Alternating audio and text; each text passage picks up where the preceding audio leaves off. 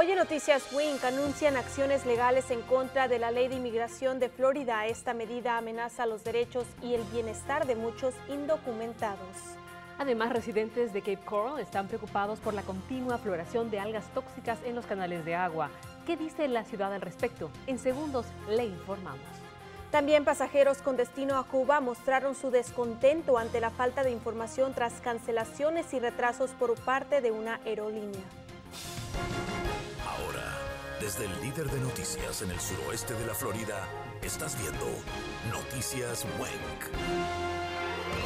La nueva ley de inmigración de Florida entró en vigencia durante el fin de semana y requiere que cualquier empleador privado con 25 empleados o más utilice el sistema E-Verify. Gracias por sintonizar Noticias Wink. Los saluda Lisette Ceja. Y Natalia Girard. Los que se oponen a la ley creen que podría provocar una salida masiva de inmigrantes del Estado. Sin embargo, el impacto de esta ley dependerá de cuán estrictos sean en su cumplimiento. Rodaris Richardson investigó cómo se llevará a cabo este proceso. Rodaris, adelante con este informe.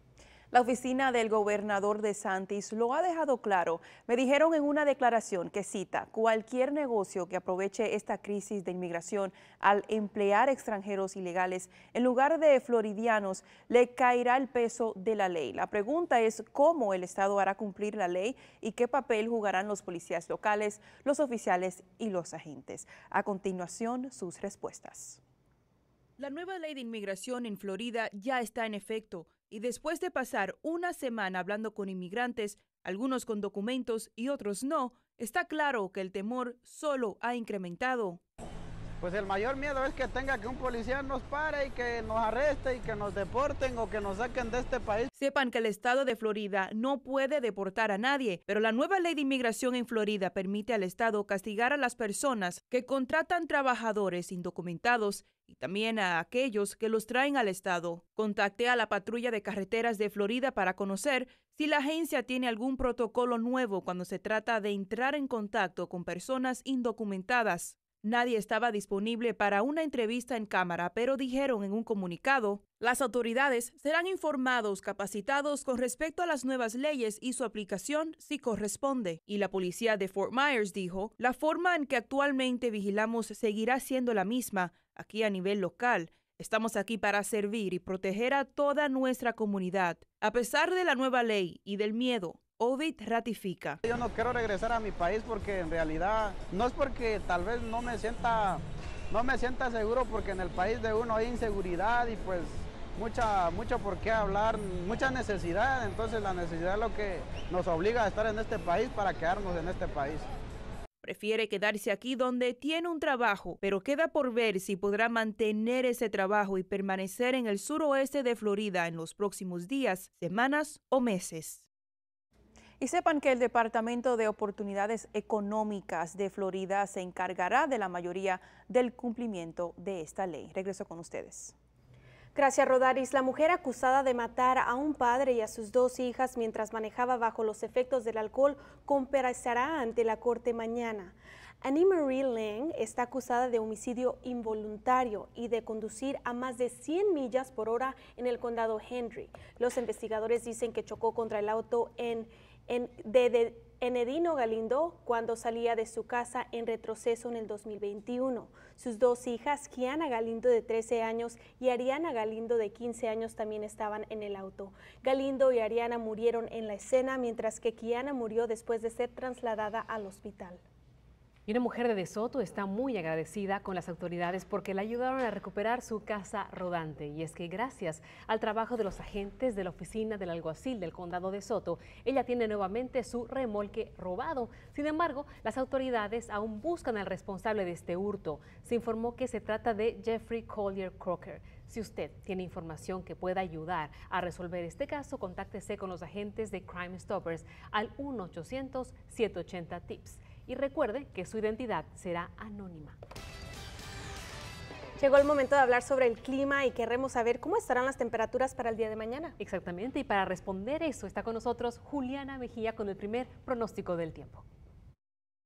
Feliz Día de Independencia, espero que hayan tenido un gran día. Desafortunadamente en los próximos días ah, la mayoría del sur del país estará más caluroso ah, que el promedio y también esto incluye todo el del estado de Florida, ah, otra vez para los próximos 6 a 10 días. Aquí puede ver, aquí en Fort Myers específicamente, nuestras temperaturas máximas continuarán por encima del promedio cada día hasta ah, el principio de la, de la semana que viene, 96 grados hasta lunes. Y tendré más detalles y su pronóstico extendido ah, en algunos minutos en mi pronóstico completo. Gracias, Juliana. El Departamento de Salud de Florida emitió una advertencia de enfermedades transmitidas por mosquitos en todo el estado luego de cuatro casos confirmados de malaria en el condado Sarasota. Los síntomas de la, de la malaria incluyen fiebre, fatiga, náuseas, dolor de cabeza y cuerpo. ¿Cómo podemos protegernos de esta enfermedad? Se recomienda no salir en las horas de la mañana ni en las horas de la tarde. También utilice repelentes de mosquitos, lleve consigo pantalones largos y camisas de manga larga. Y por otro lado, el condado Collier también ha estado investigando casos de malaria. Colocamos una trampa en el campo y luego recolectamos mosquitos durante la noche. Tomamos esos mosquitos y separamos a los mosquitos hembra, que son las que propagan la malaria. La malaria solo la transmiten los mosquitos anófales. Y estos están aquí en el condado Collier. Ahora tomaríamos esos mosquitos y los molerearíamos, por decirlo así, en un tubo. Y luego haríamos una prueba de ADN y esto indicaría una infección de malaria. Según la especialista, los mosquitos son el animal más peligroso que tenemos en el planeta y por ello la agencia se encarga de proteger la salud pública de la comunidad. Residentes en Cape Coral están preocupados por la continua floración de algas tóxicas en los canales de agua que colindan con las casas. Ante esto, la ciudad informó que se instaló cortinas de burbujas para detener dicha floración, pero ellos cuestionan el efecto. La ciudad responde que sí funciona. Estas cortinas están diseñadas para desviar las algas que fluyen del río Caloosahatchee para que no entren a los canales. Sin embargo, las alas, las olgas, mejor dicho, no solo llegan del río, sino que se pueden formar desde las profundidades profundidades de los mismos canales. Ante esto, la ciudad decidió instalar más cortinas de burbujas. Pasajeros de la aerolínea Charter con destino a Camagüey, Cuba, mostraron su descontento ya que dicho vuelo fue cancelado este fin de semana. Janet González nos explica a qué se debió el retraso y las reacciones de los pasajeros. Muy buenas tardes. Supuestamente el problema surgió después de la rotura de un avión que cubriría dos vuelos hacia República Dominicana y hacia Cuba. Desde entonces se han reportado varias cancelaciones y retrasos.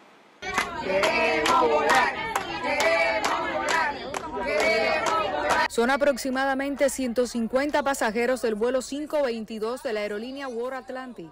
El sábado, una falta de respeto.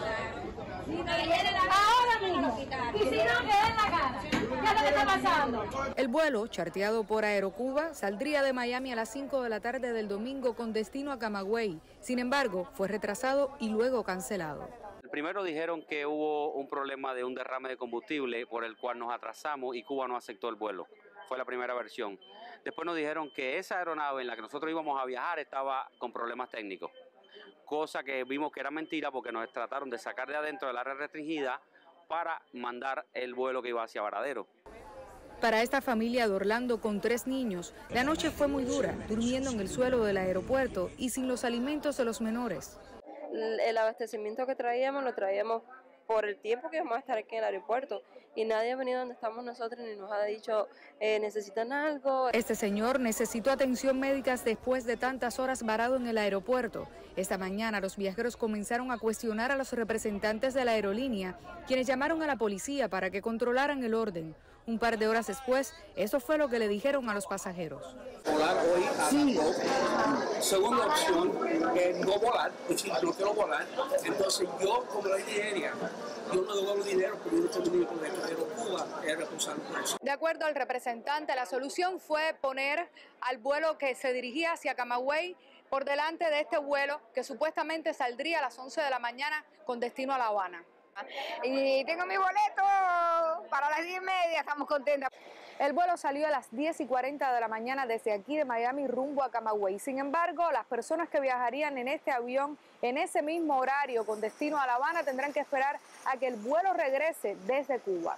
Desde el Aeropuerto Internacional de Miami, Jani González, Noticias Univisión. Y al regresar anuncian acciones legales en contra de la ley de inmigración de Florida, que según ellos amenaza los derechos y el bienestar de las personas en el estado. También el IRS emitió una advertencia sobre una nueva estafa de reembolso de impuestos. Le decimos de qué se trata después de la pausa.